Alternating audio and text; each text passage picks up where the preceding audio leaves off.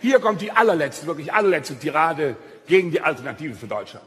Die AfD ist ein zum Himmel stinkendes Güttelsammelbecken für die kackbraunen Ausscheidungen der völkischen Dreckschleudern, nationalistischen Giftspritzen und rassistischen Herrenunmenschen. Das Programm der AfD ist ein dreilagiges Manifest der bodenlosen Dummheit, der gezielten Vergangenheitsvergewaltigung und der mitgefühllosen, unbarmherzigen und im Zweifelsfalle gewalttätigen Fremdenfeindlichkeit. Die AfD-Fraktion im Deutschen Bundestag, seine Bande von neofaschistischen Triebtätern, Karriere- und geldgeilen Abstimmungsgesäßen und politischen Volltrotteln. Alexander Gauland ist ein Präsidialer gerne groß mit dem Charisma in der Klinkerfassade. Alice Weidel, eine extremistische kopierte Betonmischmaschine auf der Steuerflucht. Und Beatrice von Storch, ein Schreckgespenst aus der Geisterbahn derer von Tut und Tat nichts. Das A in AfD steht für Antisemiten, Aasgeier und Arschkrampen. Das F steht für Fanatiker, Falschmützer, Flachpfeifen. Das D für Dösbattel, Dummschwätzer und Dauerlutscher. Kurzum, die AfD ist eine Scheißpartei. So eine richtige, widerwärtige, niederträchtige, unappetitliche Scheißpartei.